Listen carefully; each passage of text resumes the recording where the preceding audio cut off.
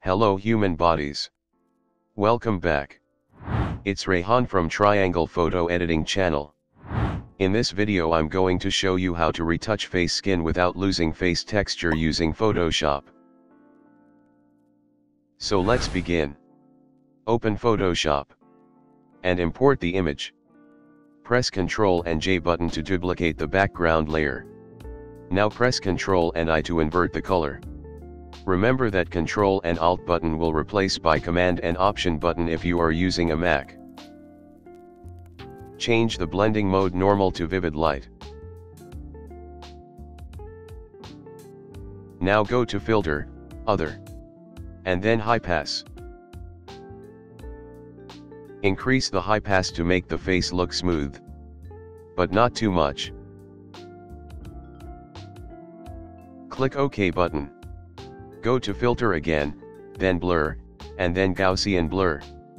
Set blur radius 2 pixel to bring back the face texture. Click OK button. We need to mask this layer. So press and hold Alt button on your keyboard and click on this layer mask icon. Now set the foreground color white and background color black. Press D button on your keyboard for this. Select the brush tool from toolbar. And select a soft brush from here. Set the opacity and flow 100%. Press right bracket on your keyboard to make the brush larger and left bracket for make it smaller. Now brush on the face.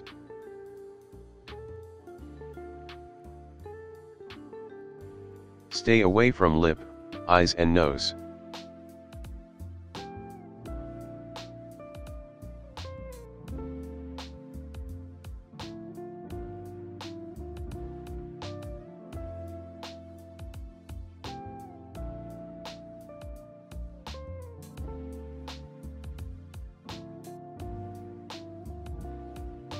And it's done.